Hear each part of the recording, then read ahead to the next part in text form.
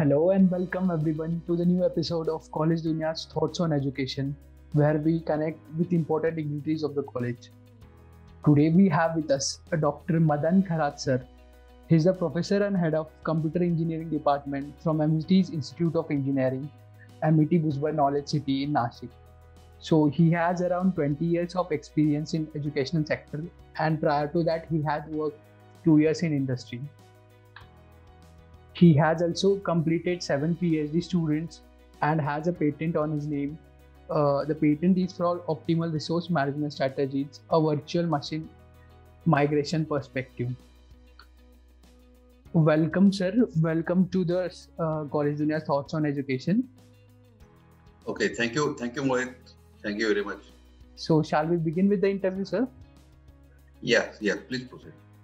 Okay, sir. Uh, so, my first question is You have held key positions at educational institutes throughout your professional career. What keeps you connected with this educational sector, sir? And how has been your experience so far? Yeah, it's a definitely a good question based on the career selection basically uh, i am in this education sector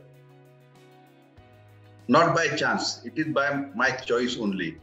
So every moment i enjoy in this education sector since my first day of the service in the education sector. Say as it is as per my choice this is my lifetime experience. Whatever I'm getting in this education, I treat this as a lifetime experience and always it is motivating with every single class, with every single interaction with the students, with the faculty, with the management, and specifically at this MET's uh, Knowledge City, Nasik, it is with the homogeneous environment of interaction with all stakeholders, including your students, including faculties, including HODs, including principals, including industry persons or industrial tie-ups. We have homogeneous environment for the development of the students. Very nice, sir. Thank you. So the next yeah. question that follows is, uh, being the HOD of computer department, it is very renowned department in every institute.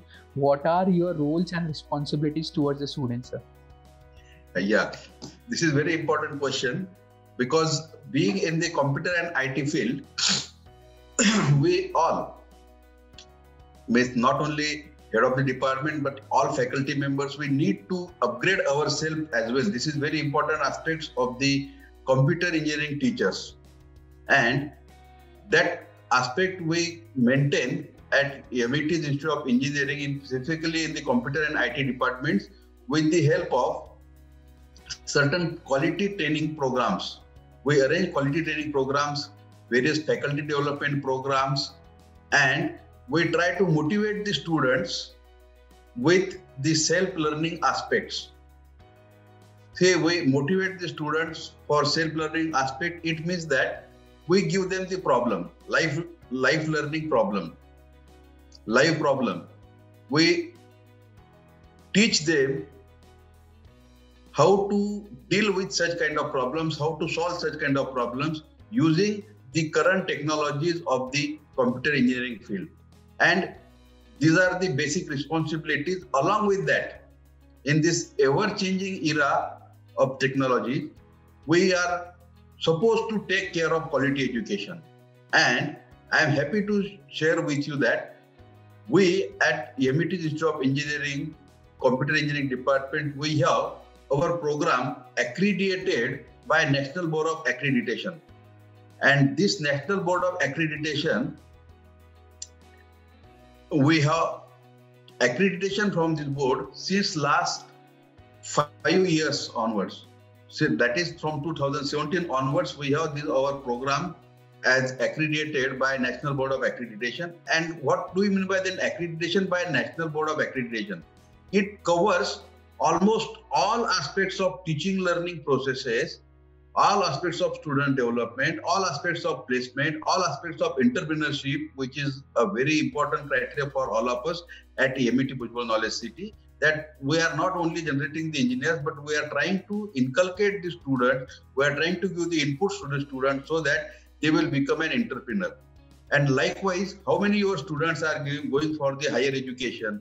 All these aspects we do take care of, and we impart the knowledge to the students based on such kind of quality parameters set by National Board of Accreditation, set by various authorities of the government, set by AICTE, and we are trying to compete with the national level institutions as well as we are trying to inculcate some practices wherein our students can shine at the international level as well. Yes, sir. Uh, very appropriate answers. The next point is, sir, along with this curriculum, which is NBA accredited, what are the extracurricular activities or program that enhances the skills of students and how do you expose them to the real world challenges that they face yes this is very important that uh, as i told you we have our uh, computer engineering program and other uh, quality parameters with us so extracurricular activities is one of the important pillars of the student development and we strengthen that pillar of the extracurricular activities with every year with certain additions in that. Like we have our own soft skill development programs for the students. We give hands-on workshop for various programming languages to the students. At I think in the Nasik and in around area, MET's Institute of Engineering and Computer Engineering Department and IT Engineering Department are the only department who are having this crack the code type of course structure. We are imparting input to the students with the crack the code type of uh, culture. We give them some lifetime problem, we give them some live problem and ask them to solve this problem with various techniques. So, like you might have heard the competition like crack the code, but this is beyond that. Crack the code is not only the competition, it is something training and learning part for the students, wherein they are exposed to the advanced programming languages, advanced tools of the softwares through the available strong hardware of our various laboratories. And in that, we ask them to practice with the industrial applications. We have certain industry training programs also like ARIS for our students. I am happy to share with you that in the recent period, like in the month of April and May, we all have suffered from the uh, some uh, something good, something bad, like COVID nineteen situation. Yes, sir. But in this COVID nineteen situation, I am proudly announcing here that my students of the department have developed some software application within only three days span for managing the COVID center. This is not a joke. How to manage the COVID center, including all aspects of the COVID, or including all aspects of the management for allocation of the various types of bed for medicine, for doctors, and all this. Our students have developed the software, and that software was deployed and was used by our uh, COVID center. That is, uh, we have our MET Bhujbal Knowledge Cities COVID Center at Nasik only. So, in that COVID center, we have contributed. Our students are contributing. Likewise, through certain social activities as well. Very recently, I had a meeting with our uh, CEO of Smart City, Nasik Smart City, and we have interacted with them that how uh, my students of the computer engineering department can contribute to the smart city, and we are working on those projects of the smart city. Maybe very soon we'll be practically contributing in the development of smart city in association with the smart city uh, office bearers of our Nasik city. Yes. Really, sir, uh, very commendable efforts from the students of MET Institute of Engineering. Sir, the next question is how does the curriculum of the institute ensures that the students are being prepared for the future and how is that practical approach towards the subject that makes it industry oriented yeah uh, see when it comes to the curriculum we are bound to have the curriculum of Savitribai Phule Pune University. And fortunately according to the board of studies efforts our syllabus is getting regularly updated. But as a pace of industry those updations are not even sufficient. Though we are regularly updating the syllabus of university through the board of studies but those efforts are not ultimately resulting because see cycle of the syllabus development is of four years and within the four years whatever technology is coming today that becomes obsolete. So to cope up with this particular situation i always encourage my students that yes if you are the students of final year third year your competition is not with the students of final year third year of other institutions or the students available nationwide. Your competition is with the student who is studying now in the 11th and 12th because whatever technology you are using whatever technology you are adopting the same technology is being used is being adopted at the 11th and 12th level also. So you need to cope up with. And we are very fortunate enough to achieve this particular goal of competition with the current technologies with the juniors and with the seniors of the students through certain core courses. We have adopted certain practices of giving knowledge to on the core courses to the students. So that their base for the entire career will be as strong as possible and they can build up their career for minimum 30 to 40 years with that particular course core structure of the syllabus. And that are those are our efforts. In addition to this we have adopted the procedure for academic accountability. You might have heard uh, very rarely this kind of words that is academic accountability. Yes, yes, we do have academic accountability in our department. All our students, faculty members are working with the academic accountability and that academic accountability is measured in terms of outcome of whatever activities they are doing we are we have set the parameters for the measurement of these outcomes and all those outcomes are being measured very frequently. And to get it done to get it done we have or to get some advice also we have framed certain committees certain bodies which are continuously monitoring these kind of academic accountability related activities. One of the examples is that we have started with the departmental internships. You might have heard the internships for the students from industry or from the other world. Yes, but sir. here at MET, we have departmental internship for our students, wherein not only the curricular, extracurricular, but other activities which are needed for the develop, overall development of the students are being carried out for the students according to their interest. And every student is then assessed based on those departmental internship for 100 marks at the academic year but unfortunately for in this particular situation of the pandemic as students are not in the campus so but those those students are not in the campus we have adopted certain procedures we have arranged even certain competitions certain things in the online based on such kind of departmental internships.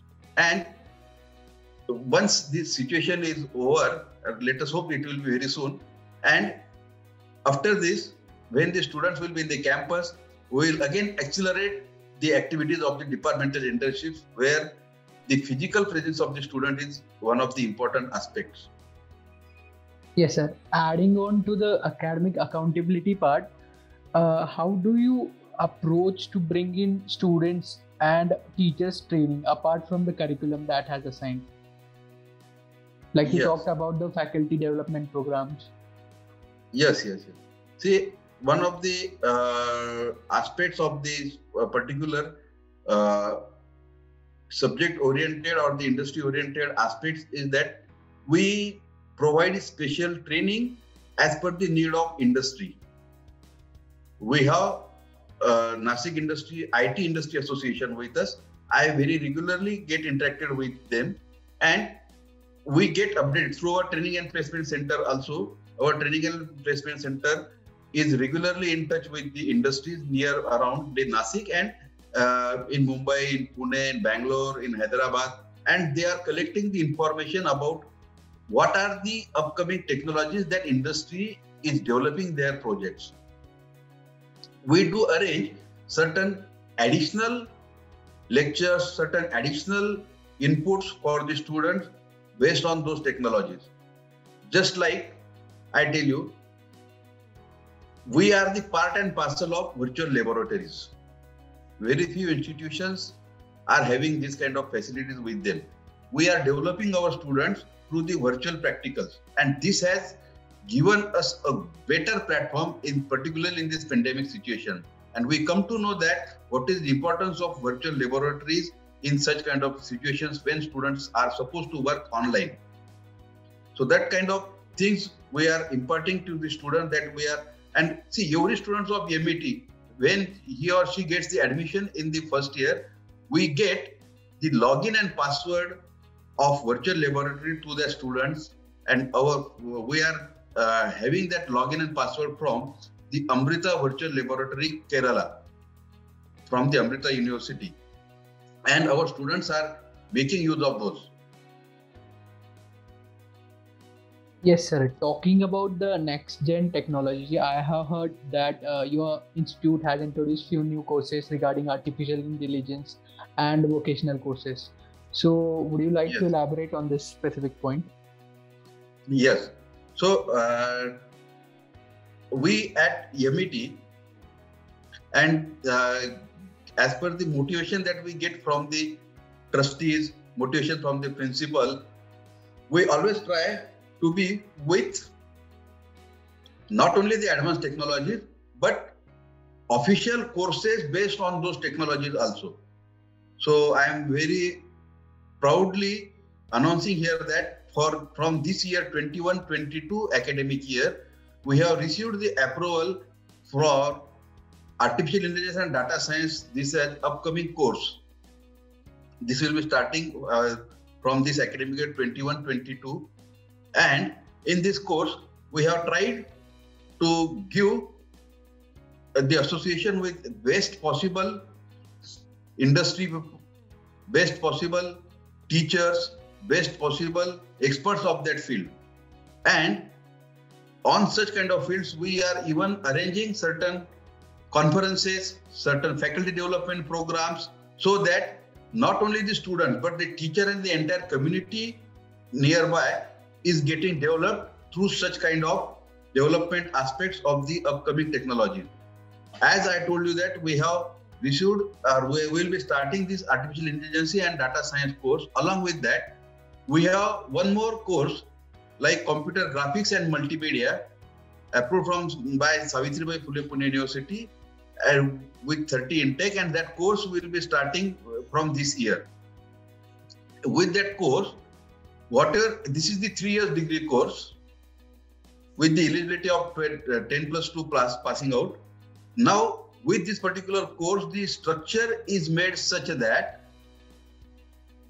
all students taking admission in this course will get the benefit of teaching learning processes towards the graphical user interface towards various applications for marketing various application software applications I am talking about. For the marketing, digital marketing, you can say various hands-on for designing softwares, and that is why we we have adopted we have gone for this particular course of Bachelor of Vocation for three years. This is though this is three-year degree course, but this course is having various exit points as well. First exit point if the student is self-sufficient and at the first year level after passing out the first year level if student think that he or she wanted to quit then there will be the certification awarded to the student after the first year. After second year there will be the diploma awarded. And after completion of the three years there will be the bachelor of vocation degree awarded to the student by Savitribai Phule Pune University. Likewise various multiple exit points are also available in such kind of courses and this is the need of today's era this is need of today's era that we are trying to come out of our traditional course structure, our traditional pattern of the education to meet the new challenges of new National Education Policy 2021. There are many things that we can talk about the National Education Policy 2021. Yes, sir. Yes. So, uh, sir, my next question is: How do you compare the computer engineering department of MET to its peers uh, in Nashik region specifically? So, what are the uh, like add-on points that MET offers as compared to its other peers in Nashik region? Yeah, specifically, uh, I am uh, very pleased to share with you that at MET, Bhujbal Knowledge City, we are working with the flat structure in the academic development of the students. This is very important aspect. We are working as a flat stru- structure as far as the academic development of the student is concerned. Okay, it means sir. that everybody is having equal share, equal responsibility towards the development of students. It means all stakeholders are getting satisfied with this particular structure and everybody is accountable for his or her role. This is first thing. That is one of the biggest strength of MET. Another aspects of working with the MET that always adding value in the student development. Suppose today we have worked out with some activity. Next year, how that activity can be further developed, that activity can be further strengthened. We work on that and we keep on adding certain value in those activities. And every year, such a even small value of addition in that activity is strengthening not only the environment, not only the student development, but the entire community of Bhujbal Knowledge City, Nasik. And with this particular, we are having motivation from the management, from the trustees of MET Bhujbal Knowledge City that yes, you should go always ahead. Just to quote one example, after completion of any activity, we though, though we celebrate it, but during the celebration, our point is always that what next? We always keep in mind that what next we should do. Based on the feedback, we have very strong feedback system for every activity. That feedback is recorded, that feedback is assessed. We are trying to find out the lacunas, we are trying to find out the missing points in that activity through the feedback and based on that feedback we are adopting something new and strengthening that activity as a regular and this this is our regular structure this is our regular you can say lifestyle in the MET Bhujbal Knowledge City that yes with this feedback we are always trying to improve ourselves towards the student development activities and this is what the biggest strength I find as a MET BKC. Yes, sir. So now let's move on to the challenges that you think. Uh, uh, what are the biggest challenges that you face for higher education in general, as well as your institution specifically? Yes, this is very important because being in the computer field or being in the engineering education, we always need to keep ourselves updated. Now, recent challenges are to not only to study but to implement the National Education Policy 2020. From 2020 year, our Ministry of Education has announced the National Education Policy for coming 20 years. And that National Education Policy is having certain base, certain aspects related to the educational development of the students, educational development of the faculty, of the institutes, of the universities, of the states and entire nation. Those policies are well drafted, well narrated, and we have all studied those national education policies and we are trying to adopt those policy parameters because what are existing even accreditation systems are there existing assessment systems are there. Those will not be no longer uh, over there. Those need to be changed. Those needs to be updated rather. And those updations will be based on, I suppose, this is my personal opinion, I suppose those will be based on the this particular national education policy. And we have prepared ourselves not only prepared, but some of the aspects of those national education policy we have started to adopt and to practice even. Like national education policy wants at least one university or one institute in every district having strong footprints in the multidisciplinary courses, in the multidisciplinary subjects, in the multidisciplinary aspects of the technical education. And we are marching towards those particular multidisciplinary courses. Likewise, this year in MET Bhujbal Knowledge City, Nasik, we have got approval for three different courses. One is civil engineering and environment. Here in the environment is the additional part that is the need of this particular hour that we have adopted and we will be starting this course. Another course is automation and robotics. Yes, in this particular today's new industrial evolution, the automation and robotics is going to play very vital and major role for the industry scenario for the entire technical applications. And those kind of courses we have adopted. Apart from that we have one more course like computer science and design this is altogether different course than the computer engineering computer science and engineering herein the designing aspects of three levels of the computers. One is the hardware, software, and another is the graphical inter user face, which is needed for the general public. All these three aspects will be covered in this particular computer science and design course. So likewise, we are updating ourselves. Likewise, we and to cope up with this, how to cope up with such kind of changing scenarios, it is the challenge. And rather as a challenge we take this as an opportunity for all of us to get developed. And we at MET are having this kind of culture that we are developing ourselves on the lines of the updations. Yes sir. So adding on sir uh, do you want to one more thing i would like to yes sir I, one more thing i would like to that as a result of this as a result of this though it is not uh, uh, officially announced, but I am very happy to share with you that our students of electrical engineering department have recently developed an electrical four wheeler, and it is it was tested last week only in our campus. So this is what our every department of MET Institute of Engineering is getting developed through the advancements of the technologies being imparted, being available in the market. Very nice, sir. Adding on to that point, would you like to elaborate on uh, placement statistics offered for from your department?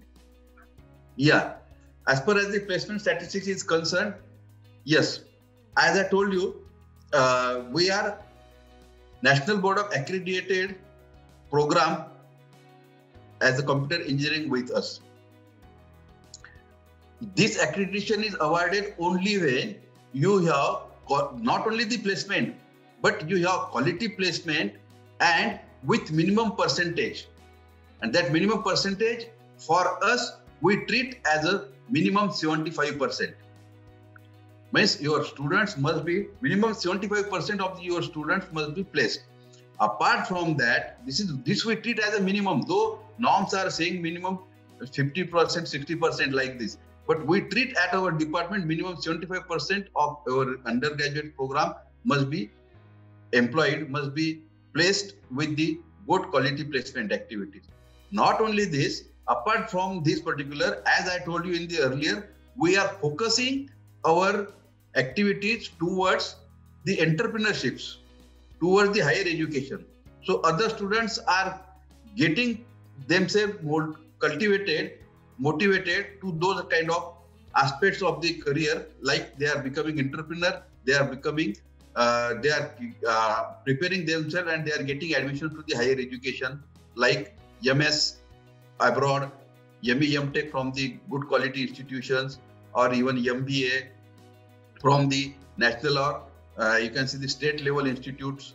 Likewise, we are having this kind of nature, these kind of aspects available with us for the involvement of the students and for uh, you can say as a add-on values to the students and as far as the placement is concerned now we are not only focusing the placement but we are trying to go beyond the placement as well our every batch of our passing out of uh, from our department is having minimum 4 to 5 entrepreneurs. And each one of them is capable of giving some jobs to the upcoming engineers also.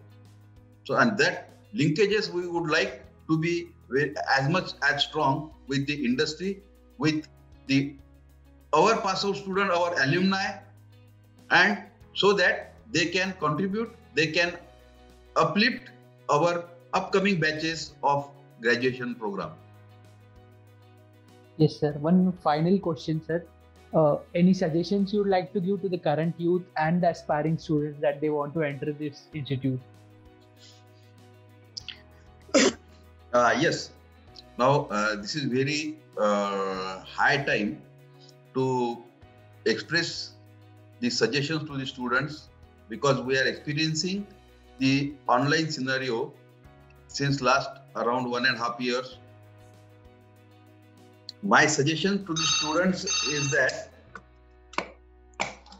whatever they do, they should be with very sincerity, dedication towards the studies. In this particular situation, another aspect which is missing is the student, not missing rather, but which is getting degraded. Students are losing their listening capacities. I would like to appeal the students, aspiring students, or the entire student community that they should enhance their listening capacities for their development. Because unless you are not a good listener, you cannot become a good citizen. You cannot become a good learner. You cannot become a good teacher. You cannot become a good entrepreneur. And to achieve this, one of the important aspects that I would like to suggest that they should enhance their listening capacities for their development. Very valid point. And, and this is specifically to by achieving by setting certain objectives towards the education, certain objectives towards their career, and that objective should be with the enjoyable environment of academic development. This is very important. Whatever wherever you go you should be with the enjoyable environment for the academic development. Enjoyable environment academic development means what? It is nothing but whatever you do it is like your hobby. And as you are maintaining your hobby you are not working anymore you are enjoying that isn't it suppose i am habitual of something doing uh, of let us say teaching so whenever I take a class, it is effortless for me. It is enjoyable for me. Even after conduction of the one hour or two hour class, I get more energy from that class. So likewise, if I say students are adopting such kind of things that they should set their objectives with the enjoyable environment for their academic development, for their career development, they will not be working for a single day. Rather, they will be enjoying every moment of whatever they do.